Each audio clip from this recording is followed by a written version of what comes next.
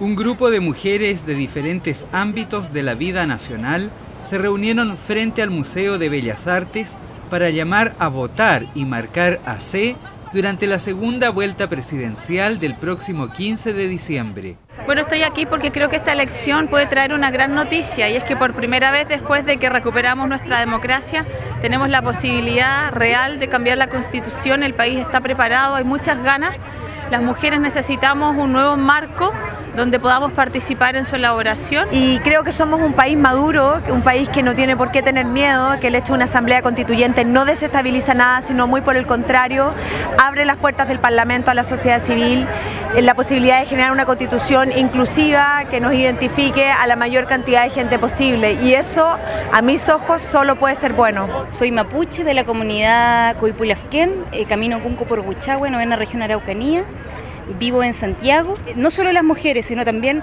las mujeres de las naciones indígenas debemos estar presentes y debemos luchar también por, un Estado plurinacional y plurilingüe. Soy de corazón eh, parte de esta campaña Marca tu voto AC, Asamblea Constituyente, que considero es la fórmula a través de la cual podemos llegar a construir una constitución verdaderamente representativa y democrática. Siendo que el Congreso hoy día lamentablemente surge del sistema binominal, lo que sesga sus posibilidades de efectivamente conducirnos hacia una nueva constitución nacida en democracia. Bueno, que la invitación ahora es a que se sumen muchísimos más los que se quedaron afuera en primera vuelta, que a lo mejor por temor, pensando que le podían anular su voto, se inhibieron de participar, o a lo mejor porque la información no les había llegado, no se habían enterado en qué, de qué, consistía esta campaña, y ahora ya lo han sabido, y en eso estamos colaborando también, a que más gente se entere. La invitación es a todos a participar. Todavía rigen los cualquier transformación trascendente en materia constitucional. Tomando el lema de la campaña, falta la otra mitad, el grupo leyó una declaración en la que se recordó que la actual constitución se elaboró prácticamente sin participación de mujeres y de la ciudadanía en general.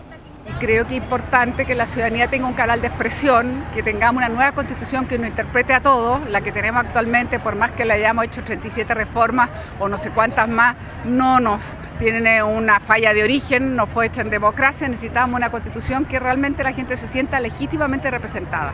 Esta democracia tiene fallas en su representación, fallas en su participación, necesitamos canalizar las expresiones ciudadanas que no se sienten partícipes y necesitamos que una comunidad se sienta parte. Esa es la razón por la cual en la Asamblea Constituyente, porque creo en la democracia, quiero fortalecer la democracia, pero las democracias deben ser participativas y deliberativas. en esa ilegitimidad, eh, ¿qué le parece el hecho que se recuerde de que la Comisión Ortúzar estuvo compuesta prácticamente por hombres? Es decir, la, la voz de las mujeres fue absolutamente inexistente, prácticamente desaparecieron. No es la primera vez, seguimos subrepresentada, apenas un 18% en el Senado y un 15% en la Cámara. Por lo tanto, llamar a las mujeres, porque nosotros necesitamos que haya más mujeres no solo en el Parlamento, más mujeres donde se toman las decisiones de políticas públicas, más mujeres incluso en el mundo empresarial, en todos los lados donde las mujeres puedan expresar su voz, sus preocupaciones y sus identidades de género.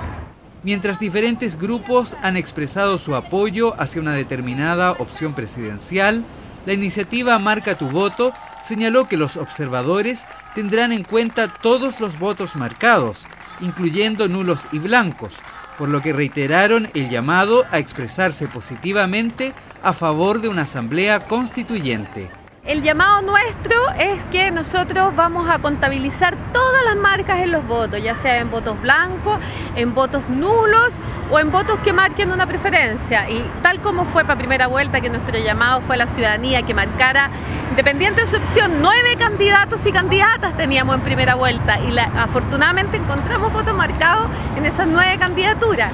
Nuestro llamado también es que ahora se expresen en segunda vuelta, que vayamos a votar. Son muy pocas veces las que este sistema nos pregunta y son muy pocas veces las que podemos ir a votar por cosas que nos importan. Entonces nos queremos tomar la parte superior derecha del voto y marcar ahí opción AC. Esta es una, una protesta pacífica, es un llamado a la ciudadanía que se exprese por algo que no nos han preguntado, porque no hemos tenido, nadie nos ha consultado qué constitución queremos. Se